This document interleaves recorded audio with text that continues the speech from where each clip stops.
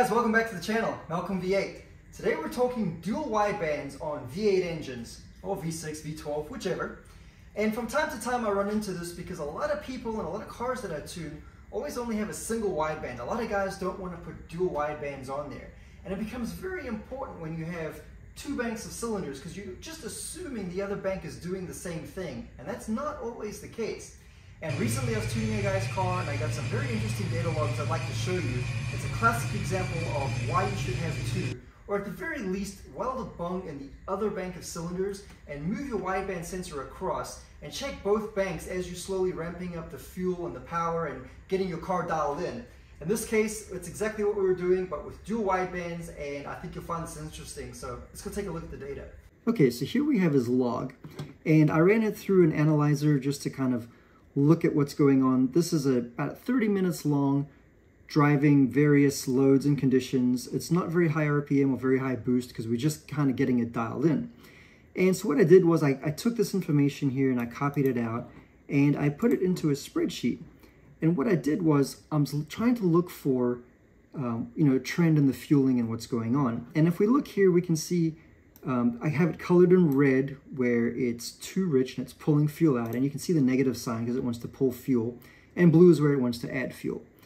And I'm looking over here and the overall trend is it's a little bit too rich. I mean, we can see that. There's a few spots of blue, but overall, pull some fuel out. And of course, now I'm remotely tuning this car, so I, I can't see it in person. I can't hear it. Um, I'm relying on the data. So I really have to do my due diligence and dig through all the bits of data I can find, um, you know, pulse widths, map data, and air fuel ratio on the other bank and compare this. And so that's exactly what I did. So let's go take a look now at the second bank of cylinders. And look at that. Wow, completely different. This is all saying that it was lean and it needs fuel. Look at that, 12% fuel up top here. Um, this is about seven-ish pounds of boost. So it it's really not much at all. This car has a big F1A ProCharger on it. It's going to make 30 plus pounds of boost. We're just lightly rolling into it, just kind of getting the car started and, and feeling it out.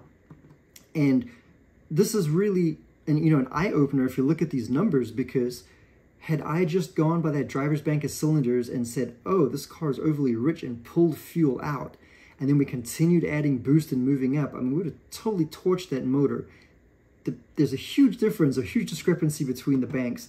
And I was curious just how much of a difference it was. So I went ahead and put some numbers into the uh, spreadsheet and you know some calculations. And, and look here, this is this is not a fueling map per se, but this is purely the difference between the cylinders.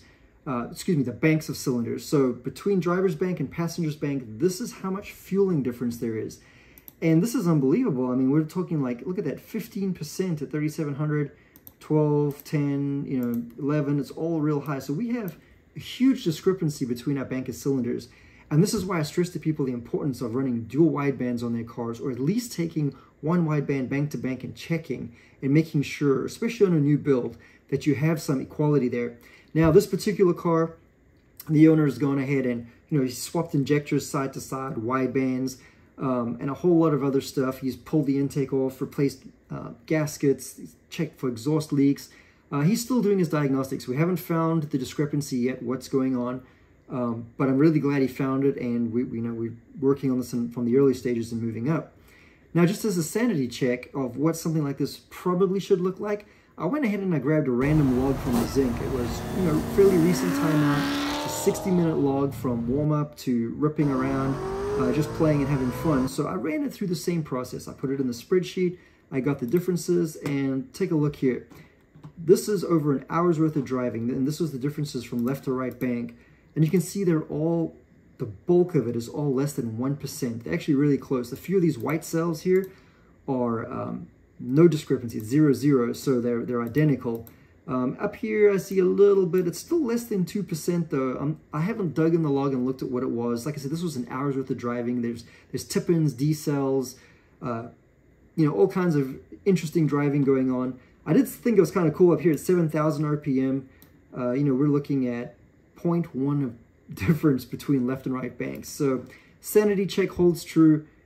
You know, your banks should not be off like that, that car.